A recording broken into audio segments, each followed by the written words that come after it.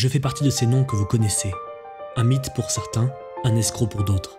J'ai créé une saga cinématographique considérée comme la plus grande de l'histoire du 7e art, tant et si bien qu'aujourd'hui je n'existe qu'à travers elle, alors que pourtant j'ai accompli bien plus. Et le plus drôle, c'est qu'à la base, ça ne m'intéressait vraiment pas.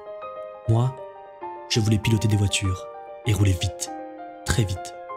Certains me voient comme un artiste de génie, une référence absolue du 7e art, alors que je me suis toujours considéré uniquement comme un artisan du cinéma.